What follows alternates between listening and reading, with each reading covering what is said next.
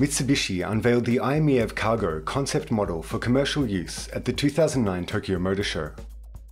The IMEV Cargo inherits the environmental performance and economic efficiency of the IMEV electric car that will go on sale for individual users in April 2010 and also features a significantly larger interior space. こちらは、えー、先にあの当社が発表発売いたしました iMeev をベースにより後方のキャパシティを増やしまして、えーまあ、コマーシャルユースはもとより、えー、レジャーユースも含めいろいろなその EV の使い方の可能性というものを、えー、拡大していくために、え、作ったケーススタディです。えーと、デザインコンセプトのテーマとして「ジョイント」っていう言葉を、掲げさせてもらってるんですけれども、え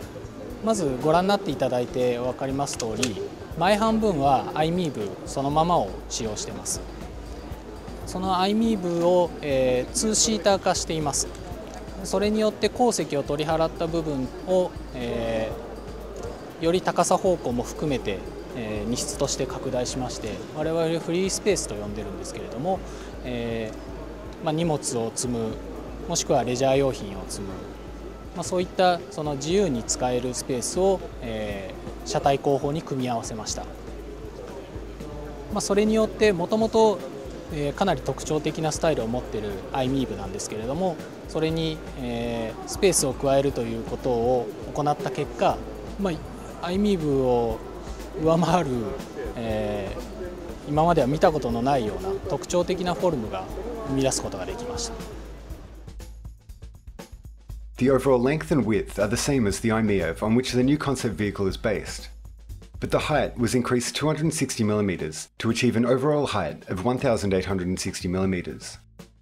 The free space in the vehicle rear is designed in a square form with a width of 1350mm, a depth of 1180mm, and a height of 1100mm.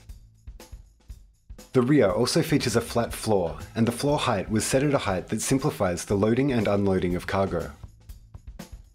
The IMEF cargo is in the concept car stage, and the price range and launch timing have not yet been determined.